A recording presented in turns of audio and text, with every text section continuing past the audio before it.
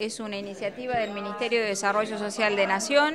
eh, que se va a implementar en forma conjunta con la Universidad del Comahue, con la Facultad de Derecho y Ciencias Sociales y también eh, en forma coordinada con la Dirección de Adulto Mayor de la provincia de Río Negro muy contentos, muy agradecidos con todas las instituciones que participan y con la gente que se ha inscrito, que tiene muchas, muchas expectativas desde la capacitación y desde la posibilidad laboral también. El curso dura cinco meses, en diciembre estaríamos terminando. Bueno, esto es eh, un paso más, un paso cualitativo porque que se esté lanzando el curso de cuidadores domiciliarios en Cinco Saltos significa que el municipio ha sido facilitador en todo momento tanto con la residencia como con este acto, ¿no? porque